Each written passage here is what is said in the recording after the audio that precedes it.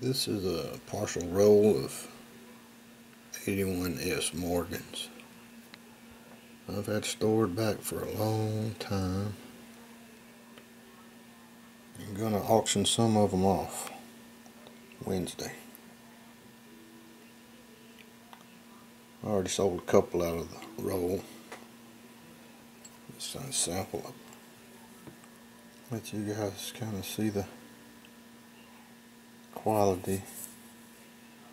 It is so difficult to capture this luster with a camera.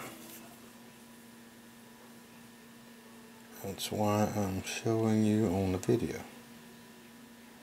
I'd say average grade is at least 63 maybe some 64s in here I saw a couple that had some proof-like qualities very shimmering mirror-like luster there some of them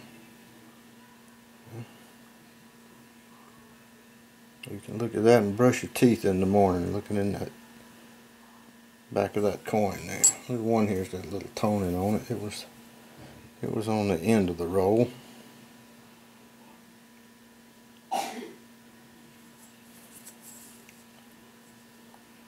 Anyway, when you see the 81 S's come up, they will be from this group, but I'll also go ahead and take some individual pictures as well.